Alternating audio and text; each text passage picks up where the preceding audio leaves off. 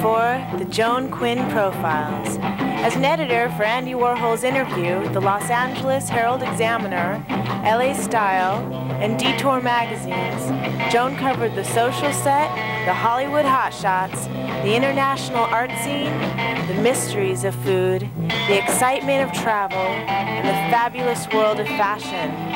Joan continues to find creative people on the cutting edge who make things happen. Here's Joan.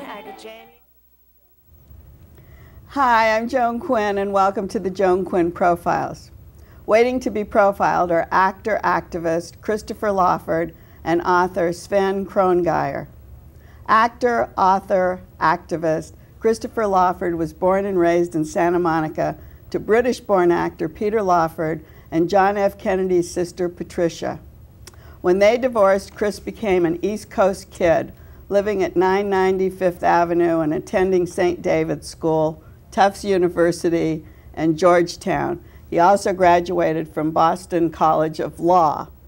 Pretty lofty world, the Kennedys, political notoriety, law, the Hollywood rat pack. When did you realize your life was so privileged? I don't know. You know, it's it's interesting. Uh, I think uh, probably not. You know, and I write about this in my book, Symptoms of Withdrawal. When when I was eight years old, my uncle President Kennedy died, and that was sort of the beginning of a, a, time for me where I realized that there was a lot of attention being paid to my family. Before that, I didn't have any idea. In Santa Monica, it was nothing. No, in Santa You must have had celebrities coming and going.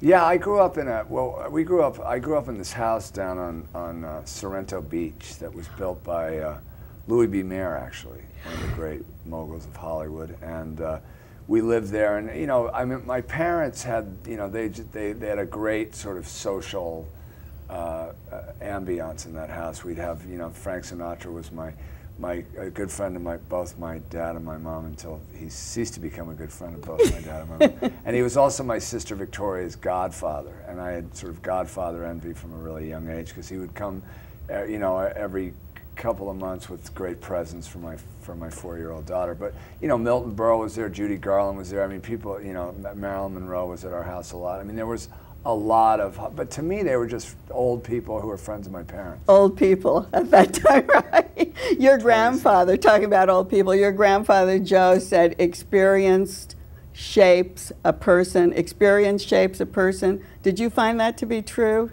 The experiences that you've had? I think um, I think that that's true. Uh, there's a lot of things that shape a person. Uh, my, my grandfather was a, was a strong believer in experience, and he he uh, he infused our family with this sort of uh, uh, uh, belief that the more that you live life and the more that you experience life, the better it is for you as a as a human being. The fuller you become, and I think that that's true. But with a work ethic, right? Wasn't he very much, very strong work ethic? Yeah, he had a, you know, my, my grandfather was self-made. Um, Mm-hmm. he made all of his money, you know, he, he, he had a resume that was really incredible. Um, and, uh, and, you know, did a lot of things in finance, was in the movie business, was, you know, ambassador of the Court of St. James, ran the, you know, was chairman of the SEC, was political. I mean, he, my grandfather had enormous energy an enormous will an enormous accomplishment.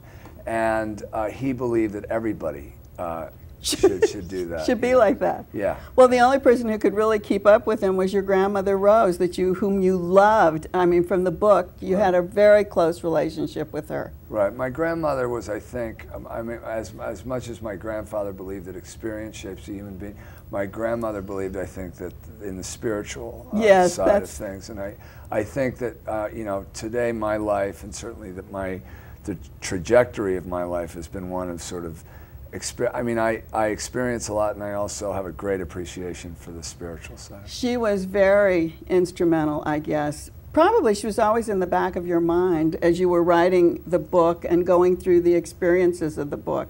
It seemed to me like I always felt uh, Grandmother Rose was there rather than grandmother Lawford. Well, abs- yeah, absolutely. My my my mother's uh, my my father's mother, uh, Lady Lawford, was uh, somebody who I don't remember, who I don't even remember meeting. And she, but I, I I know that I would have enjoyed her a lot. I think she was uh, she was an incredibly uh, colorful character, probably a bit of an alcoholic. Oh, was or she? A bit of a, was she a bit of a crazy person. Yeah, Yeah, she was very eccentric and very. Uh, but not a not not a good mother to have. She drove my father crazy. I remember, but probably I would have enjoyed her as a grandmother. Um, but my grandmother Rose was entirely different. She was really a, a woman who uh, loved her grandchildren and also was was very much. I think of all the people that I grew up with, um, was the most present as an as an adult. You know, some pa- adults you can tell whether they're present with kids or not. Kids can really know, and and she was somebody who, when you spent time with her, you really felt you had her attention.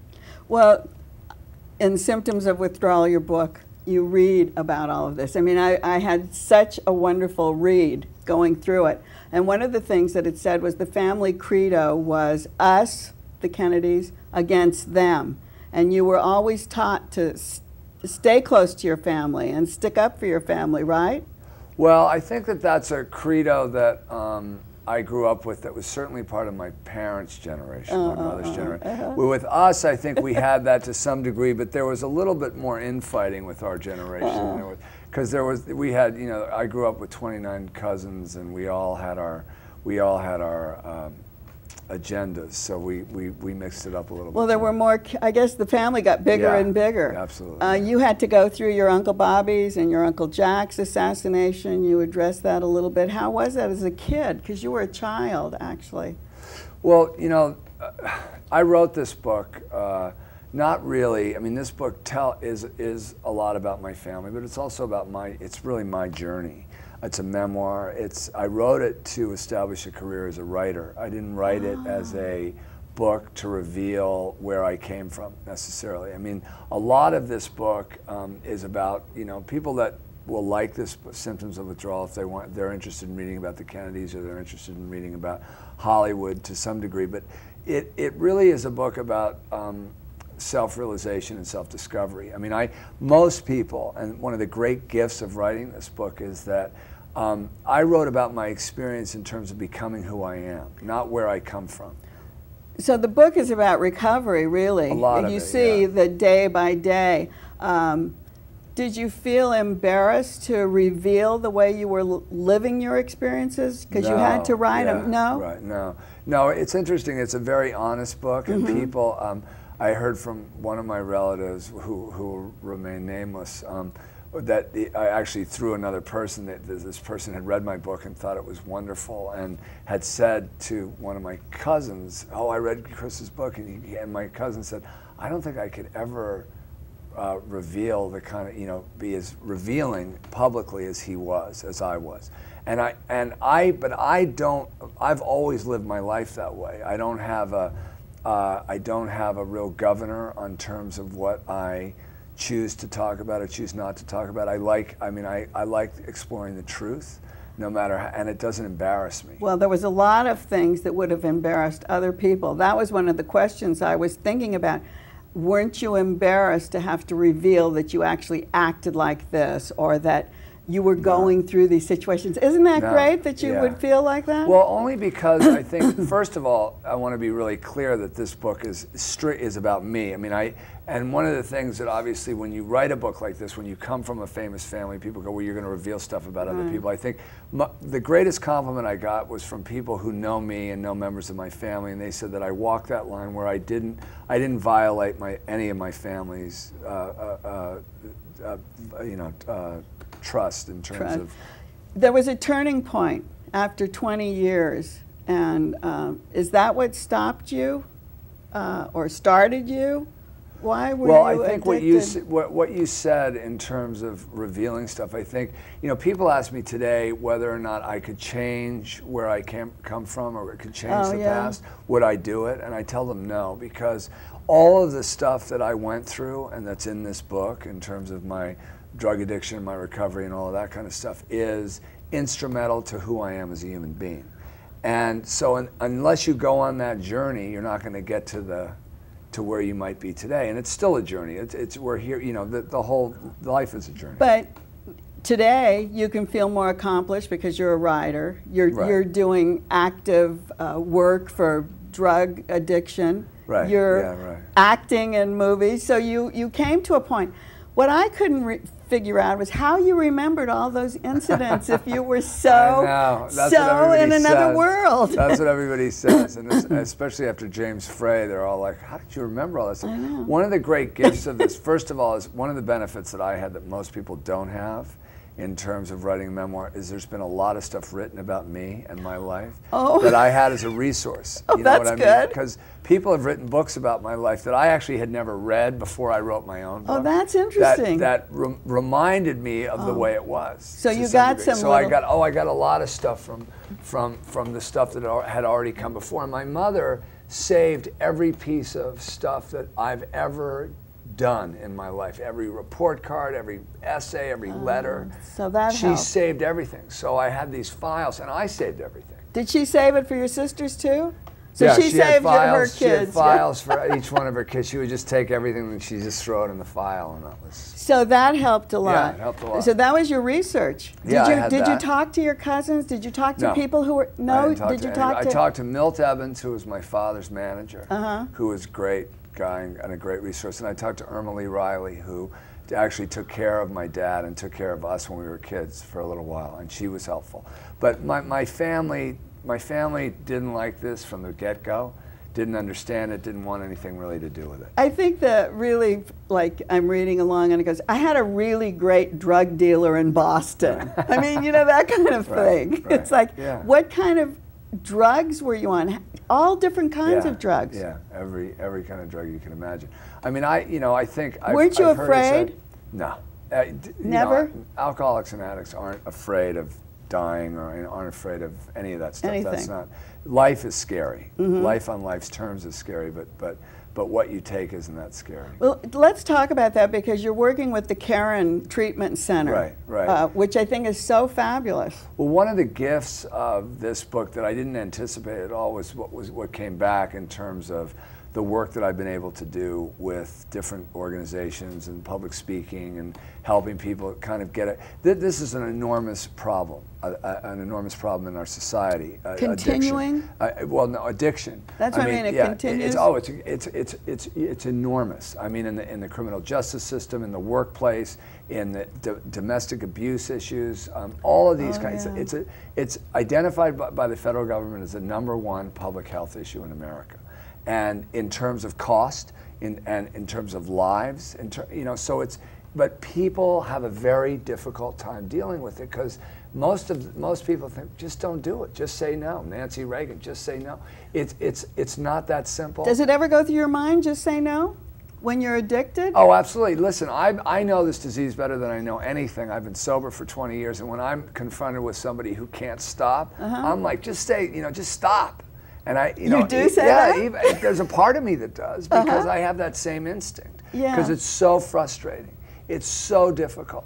But it's but it's a chronic disease that you never get cured from. It's like hepatitis or diabetes Oh, so or hypertension. It's those those kinds of things that you just manage. so you're Um, working at it all the time. you're always you're always in remission or and you're Oh, in compliance and the compliance rates quite frankly for addicts and alcoholics are better than they are for other diseases people don't understand that people think that it's you know that it's one of these diseases that you just you can't you can't really get a get a hold on and that's just not true but you you can control it, like you say. That's you that's can what you manage say. it. You can manage and it. you ma- can stay manage it. sober a day at a time. And I, I you know. I work with people like Caron, uh, which is a treatment center in Pennsylvania that does good work there. There's lots of people that do good work all over the country. Are there a lot of those kind of treatment centers like Caron? There are. There's. I mean, there's. You know, Betty Ford in California. Oh, the There's same type yeah, of thing? Oh, Right. I see. And they do. You know, they do. And and then there's you know plenty of organizations that offer help to people that are not inpatient places. You know, that are that are you know Alcoholics Anonymous is one that they. You know, there's there's plenty of places that people can go for help. Talking about that, your father actually, I guess, was an alcoholic. When he lived in the Sierra Towers, you tell funny stories about going up and actually either doing drugs or drinking with your dad. So he, it wasn't a help to you.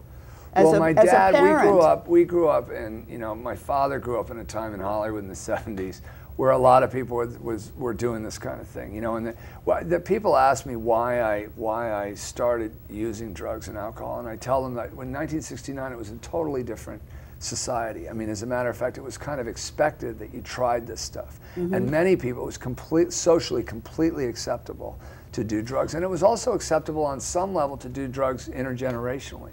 And my dad and Oh, I did that, yeah, oh, I and, and we did that to some degree, and it was it was not helpful to either one of us. Um, that that's not what I do today with my kids. No, I Um, would say I wouldn't we've come a long would. way. We've come a long way in understanding what what what is appropriate f- between father and, and son in terms of this kind of behavior. But, but that's a, a wonderful point to stop on because you do, you, you are a role model for your kids now and a role model for so many other people. Well, I don't know about that, but well, you, do. ha- you do. I, I mean, do by just yeah. talking about Right. it. I do work, and I've been there, and I, my experience is, you know, one of the great things that I've learned is my experience, the worst of my experience, has been helpful to other people, and that's a great thing. Well, symptoms of withdrawal, very interesting. And thanks so much, Christopher Lawford. Thank you, Joan. And don't go away, we'll be right back with Sheriff author Sven Crongeyer. Hi, I'm Joan Quinn, and welcome back to the Joan Quinn Profiles. Author Sven Crongeyer served in the U.S. Marine Corps Reserve and is a 17 year veteran of the LA, Sheriff, LA County Sheriff's Department. He's written articles for law enforcement uh, publications. And what I was wondering, Sven, was did these articles lead to writing your book, Six Guns, uh, Six Guns Sound? Well, it did give me uh, some good practice with writing, but the the actual uh, impetus for the book was uh, was working on a master's degree thesis, and uh, it started from there and grew into a book from there. Well, is there um, uh, a crossover between the sheriff's department and the police department? Why do we need a sheriff's department? Because I think that's what you explain in your book. I sure do. The uh, every county must have a sheriff's department, and that's uh, per statute. And the county sheriff's department came in 1850 when California was formed, and that comes uh, before the police department. LAPD was formed around 1875, and the county sheriff came in 1850 with the founding of the state. Oh, it did. Yes. And that and and why did you get so interested in the history of it? Well, uh, it was one of those things that just kind of snowballed on me. I started doing some research and, and Where did you it. research? Where did you research? I did research uh, all over Southern California, uh, mostly at the Huntington Library in San Marino. oh, Yes. really? Mhm. Why do they have such a uh, archive? They have a wonderful collection of the early historical manuscripts, uh, often written uh, on parchment with ink paper from the 1850s, 1860s, 1870s, and they have the original manuscripts there that I used to help me write the book. Did you talk to any old timers who related stories to you? I did, but most of the folks from my era had long since passed on. What Uh, is this era? so What what time? time frame? 1850 to 1900 is the first 50 years of the sheriff's department's history. This really isn't just about the sheriff's department. When I started reading, I found it was a fascinating um, survey of early Los Angeles, the history of Los Angeles. Was that really as wild west as in the 1800s as, as you said it was? It was wilder. It, uh, It was really wilder. Was, it was. It was a very dangerous town. Los Angeles had uh, 12 streets and 2,000 people, and there was at least a killing almost every single night. It Is that right? Very, very dangerous town. So who wanted to start the department? Uh, well, the first person was Sheriff George Burrill that ran for office in Oh, 1850. and uh-huh. He was elected uh, with a few hundred votes. And did departments all across the United States start this way? Did they look to LA, uh, LA, I guess to LA, right? LA County. Did they look to California? Uh, no, there was a pretty much uh, well-established routine for uh, uh, establishing a sheriff's department. So when a new county was founded, there were certain rules. Officers had to be elected. The board of supervisors had to be elected. A treasurer, all these positions, uh, and one of the positions was the office of sheriff. So that always came into play every time a county was founded? Exactly. And yet we founded it here, you said. It was like the first sheriff's department? Uh, for in 1850, when the state of California was formed, Oh, for the all the counties in the state elected sheriffs, and that's when we elected our sheriff. Yeah, Well, sheriff. I think this is a really interesting book, especially to sheriffs. I was in San Diego, and I was telling the uh, the the sheriff down there that you had written a book, and I sent it to him Oh, because he was like so interested. I think because they're writing something, or they continue to write these departments. They do. There seems to be kind of a resurgence right now of law enforcement history. Uh-huh. And uh, uh, unfortunately, many departments just do a lot of picture books and Yeah. captions, and uh, it's not really thoroughly researched. So I kind of wanted to change that and do a, a, an actual book, a, a well researched book on our history. Yeah, there was a little bit more meat to it. Was the corruption at that time as bad as the corruption is now, a hundred years later? You know, traditionally, West Coast law enforcement has been, uh, the officers have been pretty well paid. Uh, sheriff Burrill, the first sheriff, was making, in today's money, over $200,000 a year. So uh, there really didn't have a problem with corruption. Um, sure, occasionally there was, and there, and there continues to be, sadly, but uh, for the most part, uh, here on the West Coast, we avoided a lot of the corruption that they had on the East Coast. What about uh, within the cities, the, the county that the sheriffs rule over? Was the crime the same as it is today? Pretty much so. Crime uh, is uh, the murder rate has dropped dramatically, uh, but uh, overall crime has um, been pretty consistent over the years. Um, and uh, again, the murder rate was the, the real problem back then. It was just a lot of men and very few women in town, and a lot of drinking and gambling. So. Was it also because of the ethnic mix of the settlers? Because there was so, there was such a great mix. I mean, we have a great mix of, of uh, citizens today, but it seemed a little stranger then because they were coming in without any knowledge of of English. Do they have to? uh, It was tough. How was it to get along? There's always been racial tension uh, here in Los Angeles when the Latino community uh, found that they were having to deal, uh, lose their power structure when the Anglo community started to move in. And a lot of those Anglos were from the South. And they had a sense of Southern pride, Southern Oh, honor. I see. And so not only would they fight uh, amongst themselves, but there would be racial conflict uh, between the Latino community and the Anglo community. So. Well, we had those those um, minorities fighting, but did they also become a part of the sheriff's department? They sure did from early on. In fact, Sheriff Tomas Sanchez was the first Latino sheriff, and he was elected um, uh, throughout the whole Civil War years. Oh, way back? Is that All right? the way, yes, through the Civil War. So he was early on. There was a Latino sheriff. Mhm. And then when did women come into the service? Women came into service early on as matrons to help with uh, jail maintenance and female prisoners. Oh, so they were in nature. the they were in the mix. They were in the mix from early on. They would serve temporarily, uh, but the first females to actually go to patrol was much later in the 1970s. And how did that to integrate? Um, what kind of percentages do women? Um, I currently play? couldn't tell you. Uh, that wasn't the focus of my research. no, because it's now we're talking But- about now. But in, yes. In the time of your book, was it only matron? Pretty much only I matrons. I yes, see. yes. What about um, the criminal element? Are they as dangerous? We talked about Sadly crime, so, but are they yes. as dangerous? The- uh, sadly so. Today, uh, there's just as much, uh, just as dangerous uh, banditos back then as there are today. Uh, that really hasn't changed much. and and sheriffs killed in the line of duty. Does that happen a lot? It used to in the early years uh, because the sheriff was the hands-on law enforcement person. He actually went out and would arrest people. Today, there's uh, over 16,000 employees, as many as 8,000 sworn deputy sheriffs, and the sheriff today has a different role than he did back then. He's Oh, more of a manager and a politician today. Well, talking about politician, has the sheriff gone on to be the mayor of a city or the governor of a of a state? Has that happened? That has happened where sheriffs in the past uh, jumped roles, especially in the early times. Did They- it? Some of them actually became uh, chiefs of police. oh, they Uh, switched over. They switched from sheriff to chief of police and back and forth um, to those types of jobs. And some of them did pursue political careers. Um, uh, uh, some of the deputies as mayor or city council members. Mhm. Yeah, because you don't hear too much of that from the sheriff's department. You hear the police uh, chief Right. want, ha- pursuing political ambitions, and and I hadn't heard that with the sheriff's department. Um, why did you join?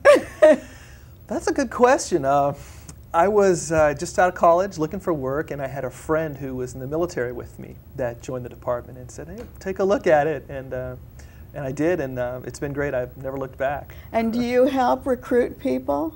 I will if someone uh, professes an interest in law enforcement and they want to talk about it. I'd love to talk to them about it. It's been a wonderful 17 years for me, and uh, I'm looking to the rest of it. Do you go? Do you do you have to go to any law enforcement classes along the way? Yes. Sure do. You start uh, with the six-month academy, the sheriff's Oh. academy that you have to go through training, and then uh, you serve some time working in the jails. Oh, you Uh, do? Sure, every deputy must do that. And from there, you go to patrol and learn how to work uh, on the streets. And what are some of the things, encounters that you come across? that I've come You, across yes. personally. uh, well, actually, I very, was very fortunate to work uh, in Malibu Lost Hills for seven years, and got to see many movie stars and Oh, uh, and uh, you know respond to calls for service for them, uh, and it was an exciting time. Yeah. Six gun, six gun sound. Tell me what that means.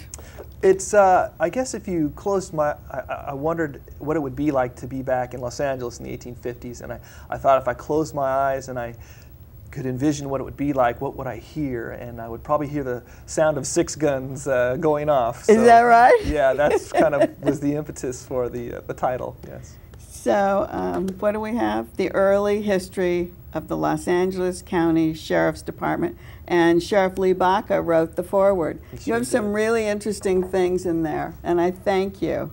Thanks for having me. Thank you so much for watching the Joan Quinn Profiles today.